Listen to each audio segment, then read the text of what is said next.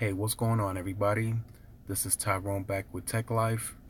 So this morning Qualcomm announced the Snapdragon X24. This will be the chipset to run alongside the X50 for the 5G networks next year. So this chipset is going to be a more capable LTE advanced device.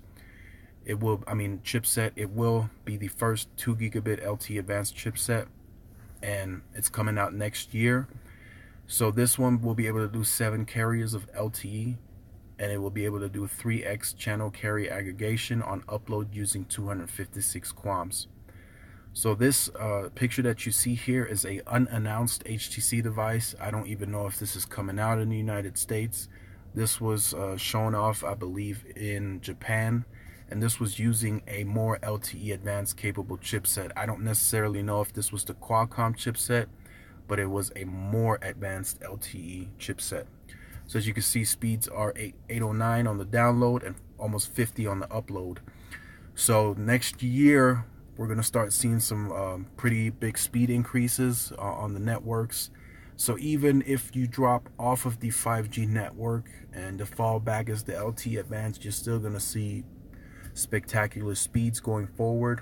So I just wanted to uh, announce this to you guys that this will be the X24 will be the chipset to run alongside the X50 inside of the phones uh, next year. Um, I want to say Samsung is going to be the first one since they have the exclusive contract with Qualcomm to have the first flagship to run these uh, two chipsets in the I want to say the Galaxy S10 coming out next year. So look forward to that. It's going to be um, a very interesting year. But one thing that uh, a buddy of mine pointed out this morning, um, Arturo, that the chipsets are starting to get ahead of the the carrier's network. So the the chipsets are far more advanced than what any network can currently uh, put out. Um, I know in certain areas they do have it live or they're testing it or trials, but they the networks haven't caught up yet. And I think in the future the chipsets are just going to get more and more advanced. So that's part of the reason I think why Apple isn't really stressing on uh, getting all of this in their phones just yet. Um, they want to make sure that it's more widespread before before they include these type of chipsets in their phones. So, so definitely stay tuned. This is an interesting year coming forward. It's still too early to tell if uh, Apple is going to include any gigabit in their phones this year coming out.